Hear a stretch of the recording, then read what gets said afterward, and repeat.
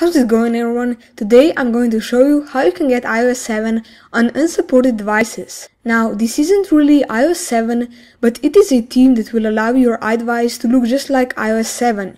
You won't get any features from iOS 7, but you'll have the same look. And we'll jump right into this video.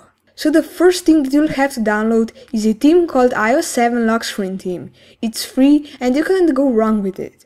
This one will allow you to change your background to the iOS 7 one, the unlock style will still be the same, but other than that, it will be really nice. I also really like the clock and the background, and I have been really loving this theme. And now for my home screen, I use another theme called iOS 7 theme. This one is free as well, and it works really nice.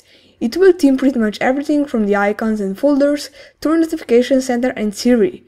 If you guys are a big fan of iOS 7, you'll love it.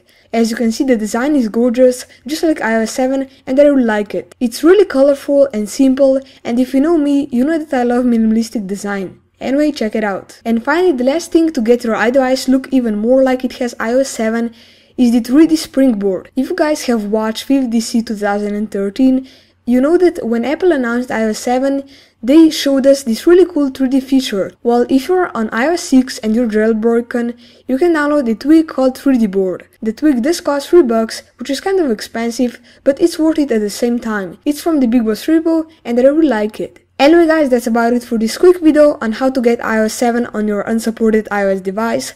I really hope you enjoyed this video and if you did, please drop a like and share this video on your social networks. Comment down below with all your thoughts and finally be sure to subscribe so you won't miss any of my other videos.